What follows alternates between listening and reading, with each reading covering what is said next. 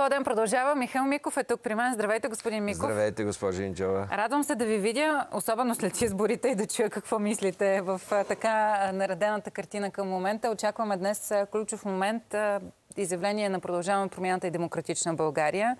А, ГЕРБ се изказаха вече а, какво следва от тук нататък. Те са първи. Продължаваме промяната и демократична България втори. Големия въпрос е има ли възможни формули за управление. Какво мислите вие на пръв поглед? Възможни формули на управление има. Виждате, че аритметиката е на първо място в тези формули.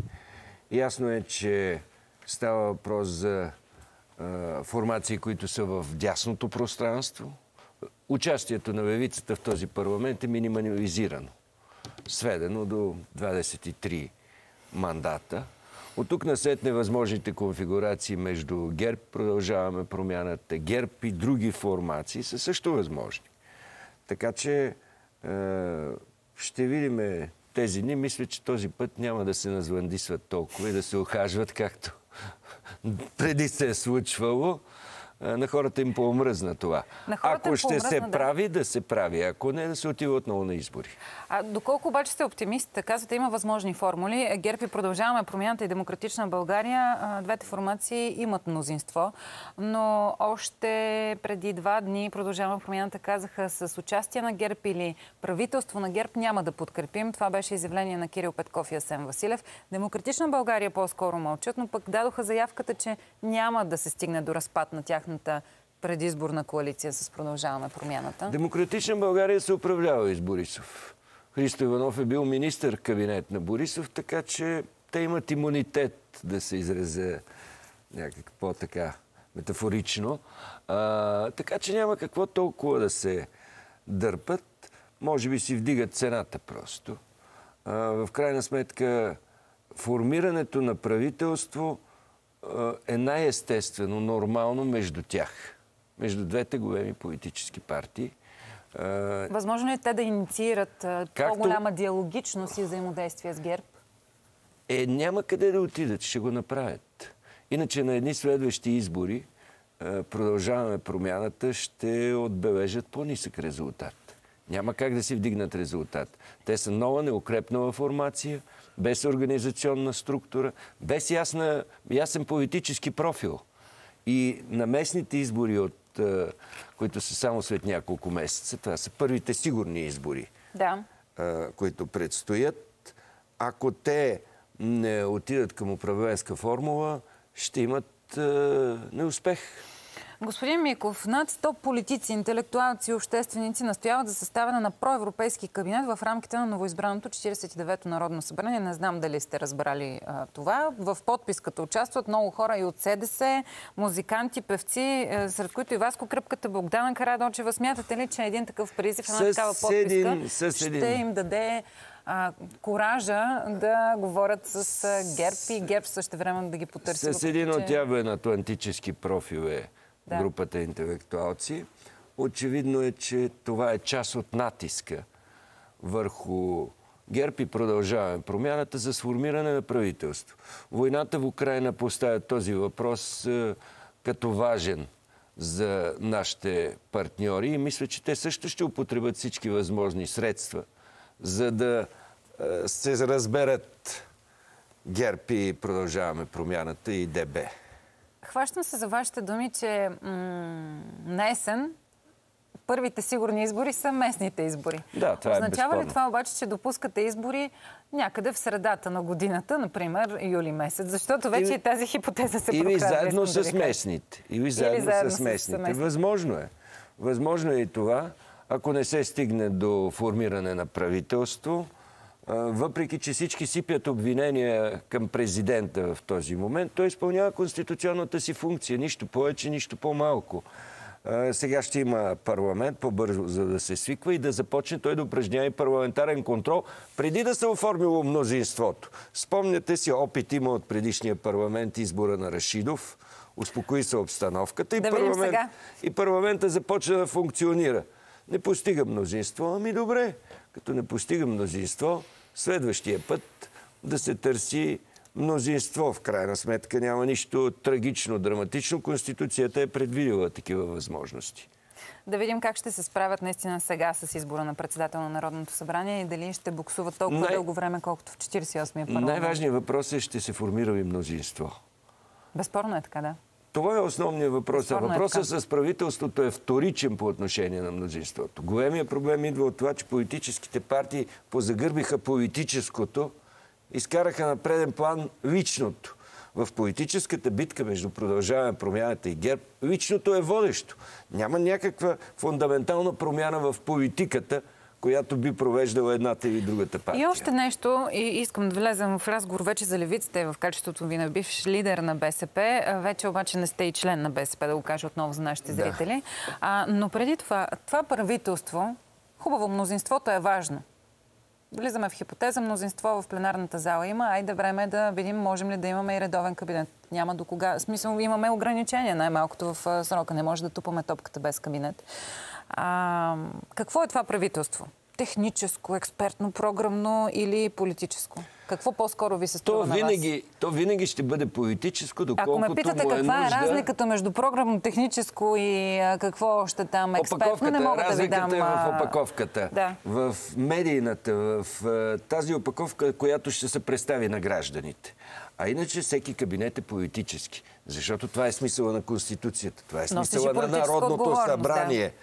Групите вътре са политически групи които са избрани. Аргументът тук е обаче политици няма вътре, ама те като влязат вътре експертите, те, те веднага стават е, и политици, политици поне логиката според мен е такава. И второ, да. нали политици ще осъществяват парламентарен контрол върху тях, защото сега някой да казва, че народните представители не са политици, мисля, че е прекалено парламентарен контрол. Въпросът е, ще се дърп, дръпнат ли политическите лица, лидерите Възможно е, и ще да. пуснат ли, а, например, а, това, което видяхме в предложения кабинет от ГЕРБ СДС в 48-я парламент, начало беше а, професор Николай Габровски. Ама вие знаете, че и преди в нашата история имало такива случаи. По времето на Беров, министър-председател Беров, такъв е случай, ако щете, и с Пламен Орешарски, когато беше министър-председател. Той не е бил член на БСП, Пламен Орешарски. Ако и тогава знаците, политическия знак е именно такъв. По-неутрални лица. Иначе всеки министр, дори и политиците, трябва да е експерт. И обратното. Аз нямам съмнение, че експертите имат своите политически симпатии и антипатии. Аналогия правите ли, бихте ли направили с това, което може да се получи сега и тогава по времето на Пламен Орешарски, кабинета Орешарски? Не мога да направя тази аналогия, защото още не знам мнозинство какво ще се формира и на какво е склонно това мнозинство. И второто, което е много тежки думи се изговориха. Гледам, че напоследък малко са си позаключили устите и от едната и от другата страна ГЕРБ и продължава промяната и демократична България. Много тежки думи се изговориха в последните една, две, три години.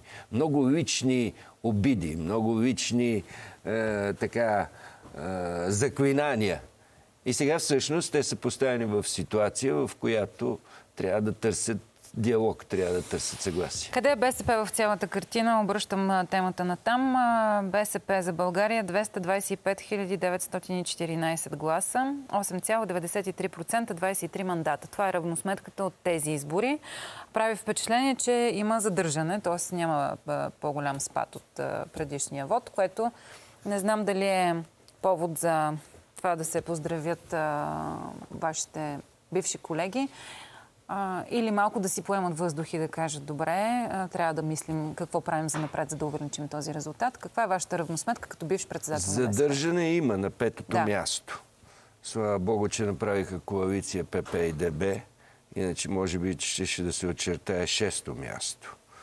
А, такова задържане в дъното на класацията не дава особена перспектива пред БСП за развитие. Не прави привлекателна за по-млади хора, за хора, които да, да дадат енергия на една партия от опозиция, която да тръгне и да се върне на мястото, което заслужава левицата в България, което е имала БСП през всичките тези 30 години. Знаете ли какво казва това обаче ваши бивши колеги? БСП е минала много пъти през кризисни ситуации. Не винаги е била първа или втора политическа сила и сега а, това се случва. Минаваме през същия момент, но ще се изправим, ще продължим и ще си възвърнем позициите.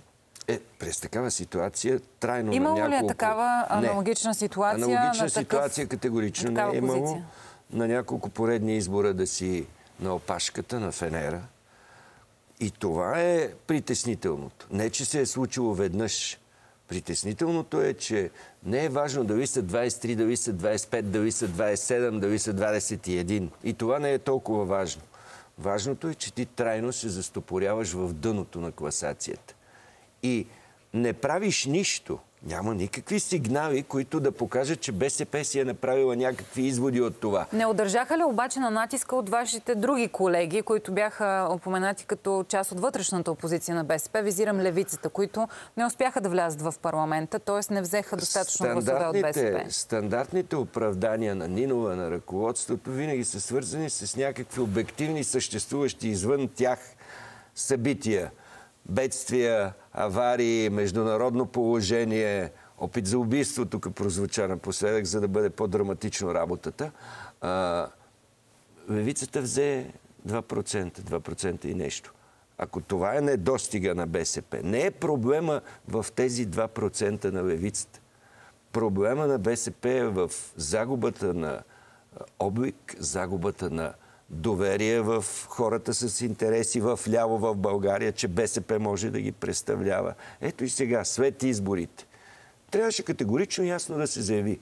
Ние оставаме в опозиция. С оглед на този резултат, за да можем да си стъпим на краката, да поизчистим образа си, да, се вър... да върнем, да търсим, връщаме на доверие. Не. Те сега са обикалят около софрата, да се наместят в някаква управленска конфигурация. Е, може би тази партия да очаква, че на едни следващи избори, били те местни, били те парламентарни, ще получи повече доверие. Напротив, кривата как... на Нинова ще продължава надолу. Казвате кривата на Нинова. А какво означава това? А какъв това... е изхода за БСП, за да подобри резултата си? Това означава, че Посочвате тук лидера? в последните няколко години БСП намалява влиянието си с по 300-400 души на ден. Това е кривата на Нинова. Тя обективно функционира, ако се вземат резултатите от избори до избори и се види откъде се тръгва, до къде се стига.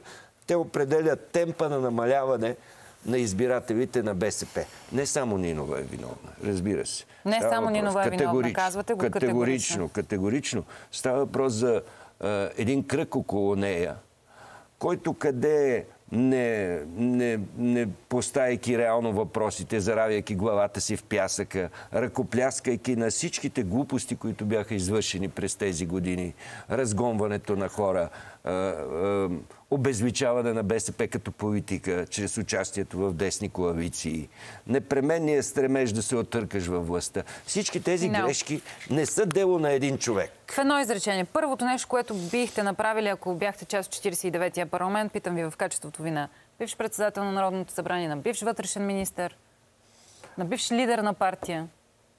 Първото депутат. нещо, което бих направил, бих помолил политическите групи да направят ясни политически декларации, които да определят тяс, тяхното място на политическата Какво искат, сцена. Какви цели имат какви и къде цели, са? чии интереси представляват, Разбрах. кои са основните им цели в политиката, заради които чувстват, че са там. След като ги чуем, защото по традиция знаем, че началото на парламентарния сезон започва с такива декларации, ще ви поканим отново, за да, раз... за да ви попитам дали сте чули тази конкретика, която искате от политическите Не. формации. Благодаря ви, господин Миков, беше удоволствие за мен. Новините.